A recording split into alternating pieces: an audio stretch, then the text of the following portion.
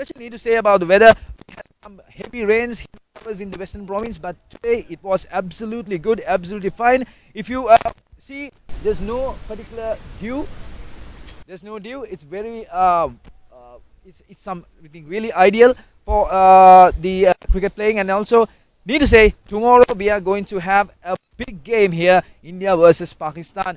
Uh, if you can remember, uh, we always said it was a bad toss to lose, and also whoever the team won the toss should bowl first in Pallekele. But coming into here, uh, I think uh, the conditions are different because today we didn't experience any sort of a rain today. So hopefully, if we won't have any sort of rain, uh, earlier the covers will be taken off, and then will be kind of a less moisture uh, turf. So I think uh, whatever the team winning the toss tomorrow, still it will be better to have a bowl first because since still we do not know how the weather will behave. So if if it starts to rain and also if the moisture and the dew come dew factor comes in, I think uh, it will be much more tougher for the spinners to operate in the uh, latter part of the game. So tomorrow will be a cracker, and I hope you guys will enjoy tomorrow's game as well. So signing off, Yasuru Bandara uh, representing LN Sports.